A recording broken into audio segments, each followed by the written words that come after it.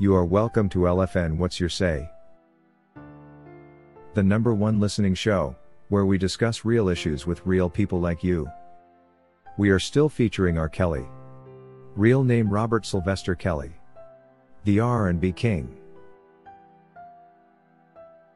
It's now three years since the infamous Surviving R. Kelly docuseries aired on Lifetime television, and viewers are still asking why what was supposed to be the most important interview was left out. Public Announcement is an American R&B music group that was formed back in 1991 in Chicago, Illinois, United States, and teamed up with singer R. Kelly for their first collaboration album entitled, Born into the 90s. The group is known for a number of great songs such as, She's Got the Vibe, Honey Love, and Slow Dance. Considering these guys started off with R. Kelly, these guys real knew who R. Kelly was, and were there almost all the time to see in case anything went wrong like the series suggested. This leaves us wondering, why on earth someone one making a story about R. Kelly's background would leave the interview out, especially after it was filmed. According to Ricky Webster, someone called him and lied to him they were doing a documentary about R. Kelly and his successful R&B music career, and that they needed an interview with him. The team came to him with all necessary cameras and lighting and Ricky was wondering, R. Kelly didn't tell me about this. When he asked what the interview was going to be about, the show director told him, Don't you worry, We're just going to ask you a few questions about yourself, and before he knew it, the interview had already begun. Ricky says he was not into the habit of discussing people, especially for all the wrong reasons, and was therefore hesitant to answer certain questions and to say certain things. He feels his interview was eventually left out because the team did not find anything useful to use against the R&B king. Hearing this concerns not just R. Kelly fans, who feel that this docuseries could be the major tool that was used to send R. Kelly to prison. And therefore, the manner in which they collected all this information for compilation is a very important issue. If people were simply being whisked into taking interviews in the name of something else, this could make people skeptical about the credibility of the entire show.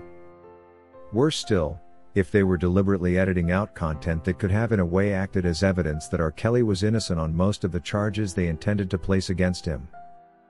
This could leave a bad mark on the entire project. I mean, what if they edited out the most crucial parts of these conversations? According to the VLAD interview that featured the two public announcement stars Ricky and Andre, R. Kelly, like anyone else may have done so many bad things in his life, but he is certainly no kidnapper. Dre says it himself in his own words that R. Kelly restricted nobody from leaving. Well, put it this way, he wasn't holding nobody hostage. Let's be clear on that. I can't see that. Whoever wanted to leave the house left, he emphasizes. This information corresponds well with that given by Diana Copeland on the witness stand, during the infamous R. Kelly trial back in September 2021.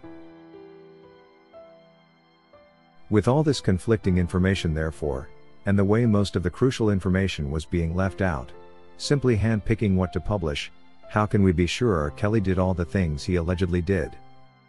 There is no way any person whatsoever who wishes to make a documentary about R. Kelly would completely edit out public the announcement contribution.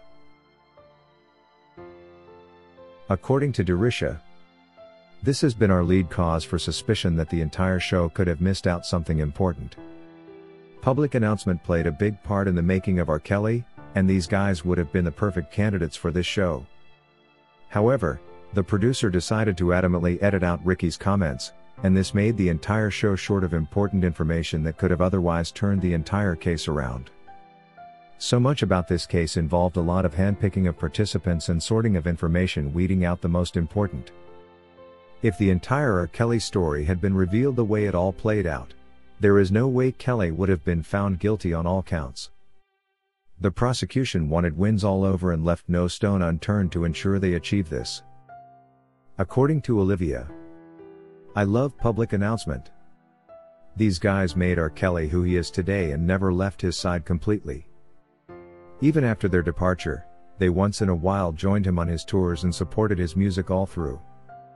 These guys kept no grudge at heart and were all forgiving. In their statements, they clearly state that R. Kelly forced nobody into anything or even staying with him. Their version of the R. Kelly story clearly exonerates the R&B king from certain charges such as kidnap and racketeering.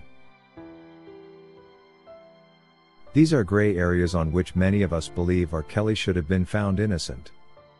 But due to reasons beyond our understanding, the jury of six found him not just guilty of all these, but also every other charge that was placed on him.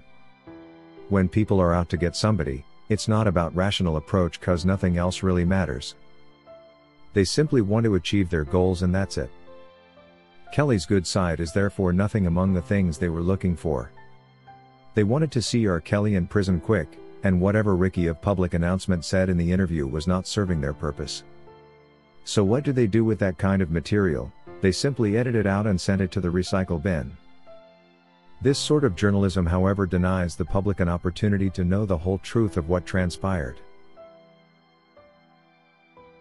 According to Rene Lard, I do believe that besides all the malicious tendencies by the media, R. Kelly will rise up again. But this time round, he will have to trust God with all his plans. I am so happy to know that he has finally realized that not everyone that smiles at you is a friend, and that you can't help everyone in life. You can only help those that want to be helped, and even then, you have to watch them too. God will always show you the people He wants to be in your life and those you should help.